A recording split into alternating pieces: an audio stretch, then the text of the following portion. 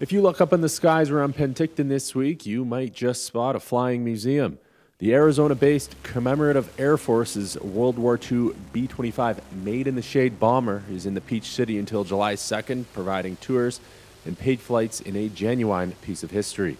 There's still about 30 out there that are in flying condition. There's about 10 or 15 that fly. This, however, is the only one that we know of that actually is a combat veteran. This plane flew 15 missions in 1944 in out of Cereggia, Corsica, against railroad yards in uh, Italy and Yugoslavia. Ultimately, the crew wants to share the plane with younger generations, generations that might be forgetting the sacrifices soldiers of World War II made. I'm about I'm only one generation removed from World War II, but uh, we tend to forget what what our in my case my fathers and grandfathers did uh, in World War II to keep us uh, free. Tours and flights can be booked online. For Castanet in Penticton, I'm Colin Dacre.